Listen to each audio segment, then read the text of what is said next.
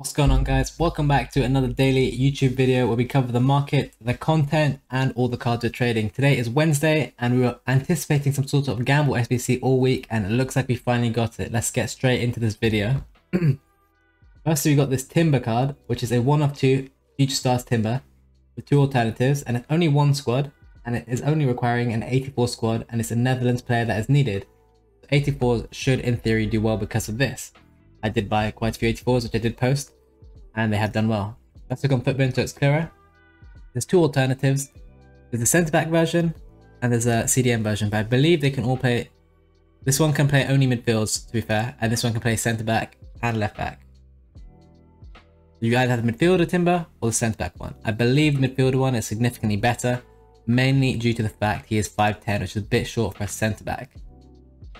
In terms of value, this is a great value SBC really good stamina, some really good stats, and honestly, for the price, not too bad at all, especially if you have an Eredivisie card to link to this card, which obviously is the issue for a lot of people. We're going to get into that and why that is useful, that this guy is hard to link in a minute. Let's continue on to more of the content we got today. We got this 84 times 20, which is the main thing that's caused a dip on this market. Requires 83 and 84 squad, one team of the week is needed, and two 85s are needed. So as you can imagine, 85s flew. Whichever one that is required, they tend to do the best, and 85s are required. Two of them, so 85s blue. As you can see, 84s would have done well overall as well with those requirements. The only other thing we've really got today that I'm aware of is Future Stars swaps. Future Stars, Silver Star swaps. We've got this Rodriguez. This guy's a FIFA legend, if you guys know.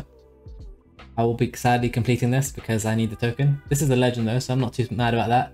One token for completing it all, and I believe there's another token for winning the three. Uh, is that the same token?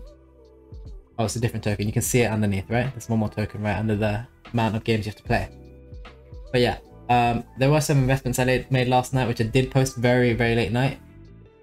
84s were really easy to win on bid for almost 5k. So I just bought like 150 of them quickly on bid. Most of them I sold for 6.9, but a lot of these I've sold for 7.9. Maybe they are higher, some are higher, some are lower, who really knows. And then that's really that. That was a quick little investment I did. I bought like 150 of those. Probably made a good 200k at least, but not too bad for a day at the office, I say. We did also get team of the week, which I can show you on the game actually. Let me just quickly show you that. It's not the best team of the week, but it's also definitely not the worst. We've definitely had worse team of the weeks. Here it is. The main player in this team is Rafinha, who got a decent upgrade, decent looking stats, 4-4, Barcelona, Brazil. Decent looking card to be honest. I would take that, but the standout card is of course Hakimi, who is incredibly similar to his other card. This World Cup one. Let's quickly take a look at that and see what's happening to that card on the market right now. Currently 8pm, so it's 2 hours after content on a Wednesday. As expected, the difference in stats are negligible, basically no difference, right? So there's no reason for this card to be high and it's getting crushed. This one, there's no reason for this card to get panic sold, so if you see this card low and you want to buy him for his team, for your team, feel free to buy, in my opinion. Yeah, um, this card is coming down. Maybe by the time you watch this, he rebounded briefly. This card's going to basically move with this card and remain a tiny bit higher, probably just because it's a cooler looking card, in honesty. Other than that, it's pretty dead. Uh, now getting to the investments, the Future Stars teams did take a slight dip today, which is what we've been waiting for. Elanga is down to 80k, uh, Guehi is down to 65, he was actually lower 62. This guy was under 80 at one point. I think that could be a fake bin. I think he's a bit higher now. He's 82. I like this under 80k in honesty, and I like this at like 62. The standout was this guy. Managed to get a few of this card for 105 and lower, which I really, really like. And um, I also bought a couple Sancets. I bought some Spencers. I bought some Van de Vens, Singos, Frank Garcia, and that's basically that. Let me just show you, show you that I did actually buy these cards. A lot of them on my transfer list right now and a lot are in my unassigned. I'm currently 200 cards unassigned almost. So here's a uh, Langa, Ehi, and Ven. Some of those are from before 6pm, and most of these are from after, as you'll see at the end. Some of these aren't even listed. I think I was getting this 15k?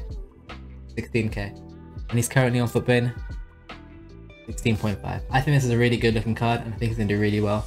That's most likely my favorite investment, and I'll get into that in just a minute on why that's my favorite investment. Here's some of the other cards, just to show you I do have a ton. I have a ton of Spencers to be honest. Spencer's the card I have the most of, I believe. I just think he's going to do really well out of pack for many reasons, which I will describe and I've talked about in many videos and my TikToks and my YouTube shorts. So if you if you're watching those, you would have found out yesterday why I like these. But I've also posted it in the Patreon. Just to show you real quick, I did make this post before 6 p.m. These are prices I like to buy these cards. This is obviously posted in the Patreon. If you guys want to follow this this kind of a tip, feel free to at your own wish at your own um, risk. Sorry, most of these prices are still pretty accurate, I'd say.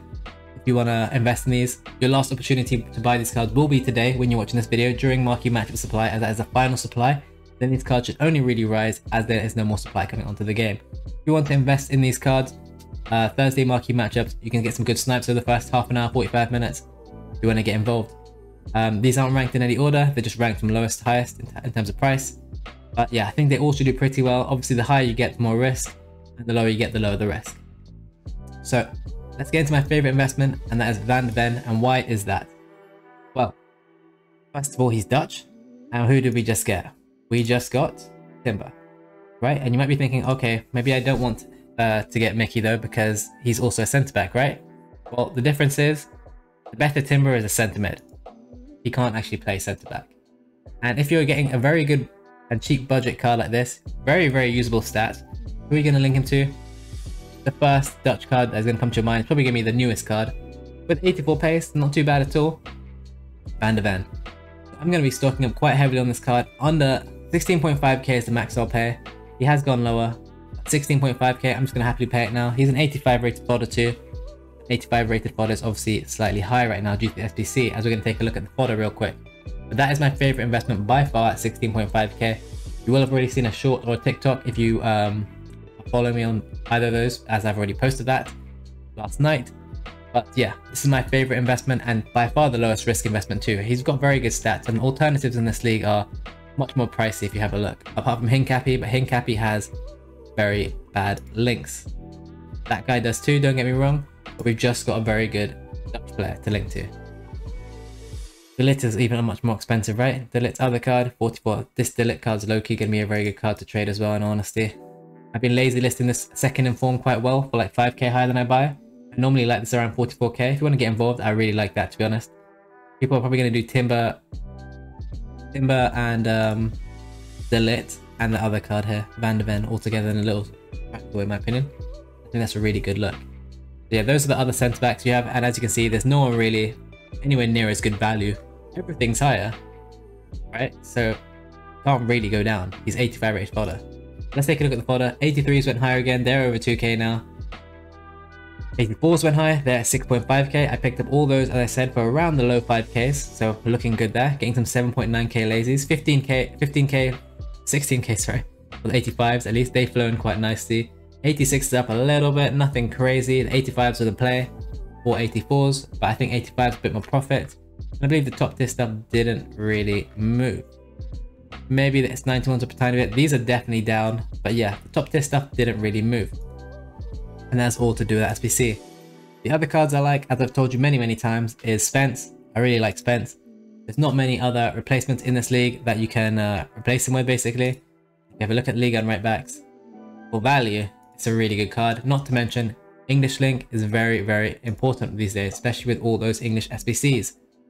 So you can see Hakimi is that expensive, so unless you pack Hakimi, which is a different tier player, the next best is Frankowski, who is terrible in comparison stats-wise. Traore, pretty much unlinkable. Fabio is a very decent card. Spence is still better, if I'm being honest, but he's also 63k, so Spence will do good. English links are really, really useful too right now. I really, really like Spence. I'm trying to get him under 22k, 21k. I love it. I think he's gonna do really well out packs. So do a lot of people, so be careful with a potential over investment. Here we have Hakimi. Same old story here with this card. This is another huge and very, very simple investment. Look at this peaked at 17k, all the way down to 16.5k now. Got heavily overinvested. He's going to keep dropping. Probably we will settle around 15ish to 16k, and I'll start picking up quite a few. He's probably going to go extinct next week if you want a very easy and very low risk play. In all honesty, even at this price, I'll be tempted to pick up a load. Maybe I'll do that after the video. I think that's a very, very good and low risk play. You want a guaranteed play, this definitely rises at least 1 2k, so you're guaranteed profit. This card will not go down. He's out of packs for an entire week those are the three players I really like. Hakimi, Spence, and Van de Ven. Those are my favorite three. Singo could do well as well. He's got the decent stats. However, the only thing I don't love about Singo is the fact there are many alternatives in the league and there's also a decent couple of alternatives with better links around the same price. While he may have better stats, you have Calabria who's 26k and is Italian and AC Milan, and Toljan who's German. Obviously Sassuolo is not great links, whereas this guy, he may have the best stats of the lot, you could argue.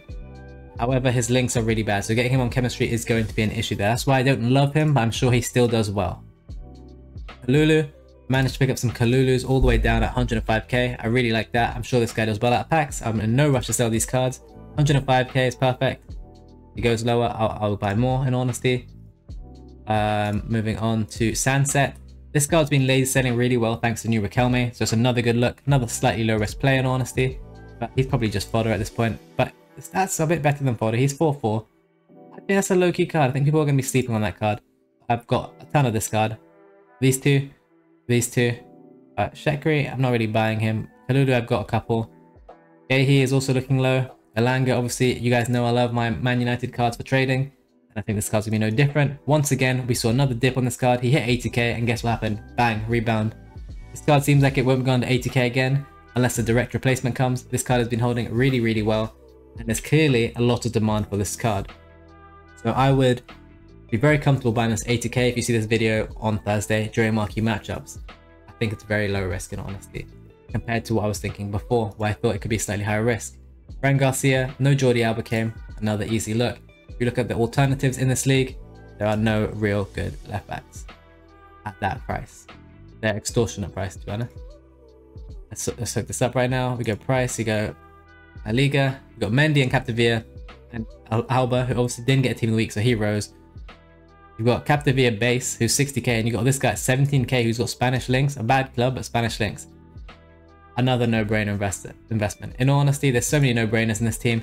That's why I'm avoiding like Singo, because like the no-brainers in this team for me, a guaranteed profit in my opinion, Garcia, Spence, um, and Van de Ven. Those three, such low risk, such a high reward, such an easy return. You might have to buy more of the other cards, but those are my favorite three. I honestly like them. Hakimi as well is pretty much a no-brainer. There's no way this Hakimi drops anymore. By the time you're seeing this video, he will have already bottomed out. And he'll just go up, up, and up as he'll be extinct. This card is coming nowhere near to discard price. So yeah, other than that, that is going to be the video for today. Today, when you watch this video, is going to be marquee matchup rewards. So you're going to have your final opportunity to get in on any of these cards and probably a final dip on a lot of those cards as the supply will be finished. Make sure you're sniping, make sure you're buying. I've, I've told you every single card I'll be buying. There's not going to be a different card I'll be buying. My favorites obviously Hakimi, Spence, and um, it was the final card. God damn it. Uh, Van de Ven. They're all very low risk plays too, and that's why I like them. Because low risk, high reward, and obviously, even if the market does go bad, those cards can barely drop. So you can buy the most too. So someone like me, who I know I'm not on a small budget, but six mil feels like a small budget to me now. The return is better than what it would be if I bought just a few Elangas, even if Elanga goes up higher. If you understand what I'm talking about. But other than that, hopefully you enjoyed the video. Hopefully you learned something. Leave a comment, like, subscribe, share the video with your friends. Join our free trading Discord, links in the description there. If you want to subscribe to the Patreon to get the most amount of tips and see the most premium tips just like these where I give you specific buy prices and sell prices. No sell price on this post, but this is just a plan before 6. Then feel free to join. The link's in the description for that. And other than that, I stream on Twitch twice a day at 2pm and 10pm UK time. I'm playing a bit of Hogwarts on the late, late night stream if you're interested in any of that. I know a lot of you aren't, but don't worry, I'm here for FIFA and trading as well. And yeah, make sure you subscribe to the Twitch channel and Rickth21 on all socials, as you can see here. Thank you for watching, everyone, and have a great day and make yourself some good old coins.